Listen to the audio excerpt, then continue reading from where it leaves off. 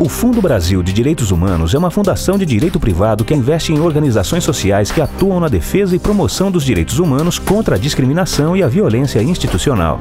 São ONGs, grupos, fóruns, movimentos sociais e pessoas que estão em todo o Brasil e realizam ações diretamente nas comunidades que sofrem violações de direitos humanos. O fundo constrói pontes entre organizações sociais e investidores. Permite que os recursos cheguem onde fazem mais diferença Fundo Brasil de Direitos Humanos, fortalecendo a luta pelos direitos humanos no Brasil. Para receber os recursos, os projetos devem ser inscritos em editais amplamente divulgados e passam por um criterioso processo seletivo, que conta com o olhar de especialistas que atuam nas causas de direitos humanos. Eles garantem que o fundo apoie temas relevantes e organizações idôneas, respeitando as peculiaridades regionais. A doação de recursos para o projeto selecionado é apenas parte do processo de fortalecimento dessas organizações. O fundo apoia a sustentabilidade desses grupos.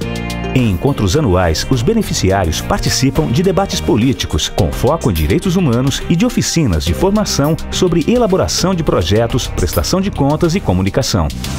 E através das oficinas de formação, o Fundo Brasil possibilita que essas organizações trabalhem juntas e conectem-se com redes de direitos humanos que já vêm atuando no país.